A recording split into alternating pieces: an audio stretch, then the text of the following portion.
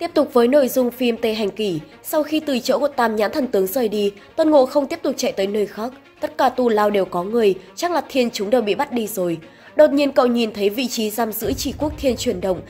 Thì ra người đang làm điều này chính là đế thích thiên. Nhìn thấy lão bạn già xuất hiện, chỉ quốc thiên cũng chẳng ngạc nhiên, lão biết người bạn già này nhất định sẽ tới, bản thân đã chờ rất lâu rồi. Đế thích thiên cho biết mình đến vì những chuyện đã xấu. Việc nhốt chỉ quốc thiên cũng là bất đắc sĩ, Hôm nay tới đây là để giải thích đầu đuôi mọi chuyện. Chỉ quốc thiên nghe vậy liền chủ động tiến lên, lão vẫn luôn chờ đợi ngày này, dẫu sau hai người bọn họ cũng là những người bạn vào sinh ra tử. Trận chiến 300 năm trước, Đế Thích Thiên vẫn còn nhớ rất rõ, lúc đó tuy bản thân đã gần cạn kiệt sức lực, vậy nhưng lão vẫn có thể chém giết nhiều tên đấu sĩ Atula tộc, buộc cho La Hầu phải xuất hiện. Thấy vậy, Đế Thích Thiên liền bộc phát thân hồn rồi lao lên. Đáng tiếc là sức mạnh của La Hầu quá lớn, may mà có Chi Quốc Thiên kịp thời xuất hiện giải nguy cứu được một mạng. Kết thúc đoàn hồi tưởng, lão ta lập tức tháo bỏ xiềng xích trên người Trí Quốc Thiên. Năm đó là trận chiến vô cùng gian nan, may mà cả hai đều đã sống sót. Đế Thích Thiên nghe vậy liền phủ nhận, thực ra lão không có, vẫn luôn không thể nào gắng gượng được. Chính sai lầm phán đoán của lão đã khiến cho vô số thiên binh thiên tướng ra đi, mà cơ thể cũng bị Atula chém bị thương, mãi mãi không thể khôi phục lại. Lão cảm thấy bản thân mình không có năng lực để dẫn dắt thiên chúng nữa. Những lời này làm cho Trí Quốc Thiên đồng cảm, Đế Thích Thiên nói tiếp, lão chỉ muốn dựa vào sức mạnh của mình để vượt qua. Nói tới đây, lão liền bộc phát thực lực rồi cho biết. Sau khi bị thương liền phát hiện ra một phương pháp rũ bỏ tất cả đau khổ, đó chính là không chút kiêng kỵ thoát ra khỏi tất cả sự trói buộc, truy lạc chính là niềm vui thực sự. Chỉ Quốc Thiên nhận ra mối chốt là vì thanh kiếm đó, thanh kiếm chính nghĩa đã rơi ở chiến trường Atula. Lão có thể đi lấy thanh kiếm đó quay về, giải phóng thứ mà Đế Thích Thiên đã bỏ quên. Tuy nhiên, Đế Thích Thiên lại thẳng thắn từ chối, Chi Quốc Thiên nghe vậy liền bộc phát thực lực chuẩn bị nghênh chiến.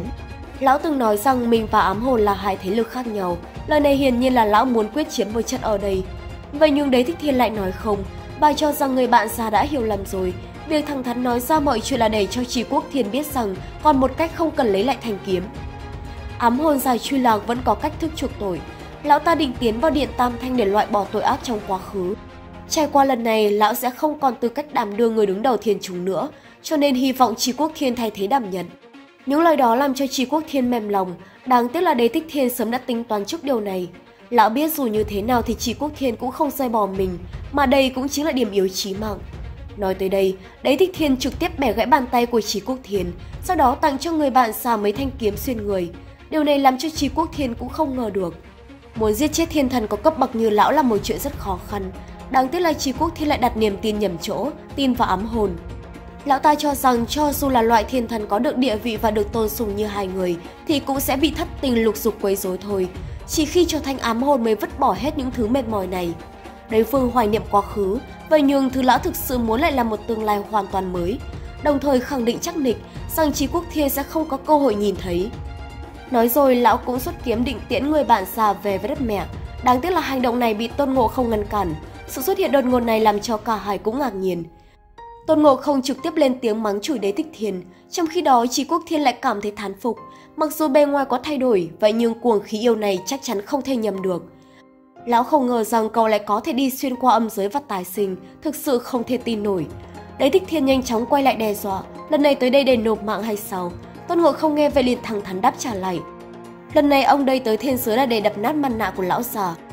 Ngoài miệng thì nói chính nghĩa nhân ái, thực ra lại là ám hồn ăn thịt hút máu người bảo đảm người đường tam tạng đi lấy vĩnh hằng chi hỏa là vì sự ích kỷ của lão tam. Tức giận vì bị sỉ nhục, đế thích thiên lập tức động thủ, phóng ra vô số thanh kiếm định biến tân Ngộ không thành con nhím. tân Ngộ không nhanh chóng né tránh rồi thách thức, muốn đánh nhau, cậu hoàn toàn không sợ. Rất nhanh, hai người cũng tiếp tục động thủ, một bên ở lại chỗ xuất kiếm, tân Ngộ không vừa ngăn cản vừa mỉa mai. Không ngờ được là lão gia này lại mang theo nhiều kiếm như vậy, rốt cuộc có biết mệt hay không, đáng tiếc là quái chậm, ngay cả một sợi lông cũng không thể chạm tới, Cảm thấy không thể làm được gì tên tiểu tử này, thậm chí còn suýt bị một gậy bổ xuống đầu.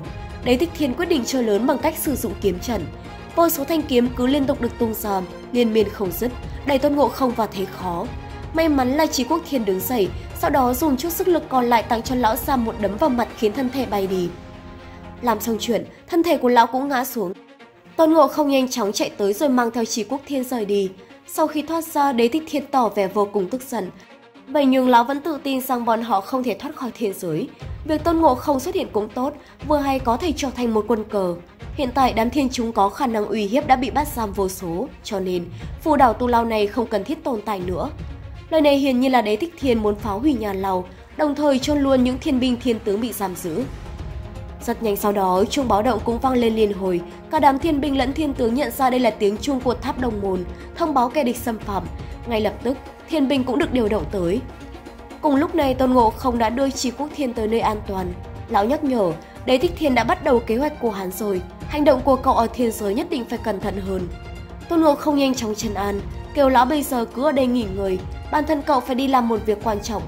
Nói rồi, cậu lập tức rời đi, đường đường chính chính xông ra ngoài và bị vô số thiên binh truy đuổi. Càng bị bao vây càng làm cho cậu ta thấy thích thú.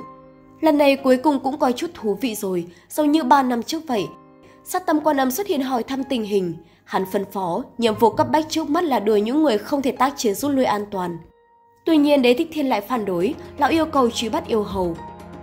Việc bị một tên yêu hầu làm cho loạn cả lên sẽ ảnh hưởng tới uy nghiêm thiên giới. Sát tâm nghe vậy liền phân phó dốc toàn lực truy bắt tôn ngộ không, nếu cần thì đích thân hắn sẽ ra tay. Về phía tôn ngộ không, cậu lúc này vẫn miệt mài chơi đùa với đám thiên bình. Dù lớn hay nhỏ thì cũng đều bị một gậy đập cho ngã ngửa. Đối mặt với đám mưa tên đang lao tới, cậu ta chỉ cần sử dụng ra kim cương bất hoại liền dễ dàng ngăn cản. Có thể nói rằng, thế trận bây giờ hoàn toàn nghiêng về phía tôn ngộ không. Tuy nhiên, phía thiên giới không chỉ có như vậy, đám thiên thần cao tầng vẫn chưa hề xuất thủ. Và rốt cuộc tôn ngộ không sẽ ứng phó như thế nào, các bạn đón xem tập tiếp theo nhé. Tập này tới đây là hết rồi.